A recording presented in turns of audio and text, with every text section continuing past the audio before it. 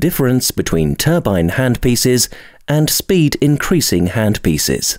Whether air-driven dental turbines or red high-speed contra-angle handpieces are used for preparing enamel and or dental prosthesis materials depends on personal requirements for ergonomics and efficiency.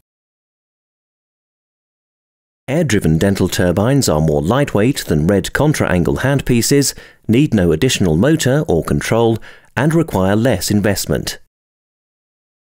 As these turbine handpieces are only driven by a small rotor, their power is limited and seriously dependent on the contact pressure. Setting the speed is generally not possible, and the high-frequency operating noise is sometimes unpleasant for many users and patients. In addition, the idle mode speed is far above the required operating speed, which leads to increased heating of the tooth and more wear to the rotary instrument. In comparison, high-speed contra-angle handpieces can be adjusted within a speed range of approximately 10,000 to 200,000 RPM, and can therefore also be used for work which would demand a turbine and an additional contra-angle handpiece with an air motor. Red contra-angle handpieces also offer a constant adjustable speed, and their sound is at least less unpleasant. These contra-angle handpieces must be driven with an electric motor.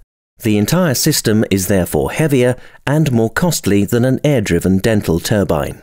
Both turbine handpieces and contra-angle handpieces are precision instruments which have to resist extreme pressures, not only during handling, but also through the hygiene and maintenance process required. Inside these instruments are high-precision ball bearings, gears, fiber optics and bulbs, electronics, air and water filters, and seals, which can only work properly if they are cleaned and maintained correctly and regularly.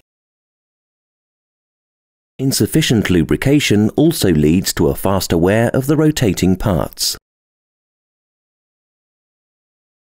Always ensure that the manufacturer provides equipment for the hygienic and maintenance preparation of transmission instruments when deciding on a system. This increases both your safety when using the transmission instruments as well as their service life considerably. W&H.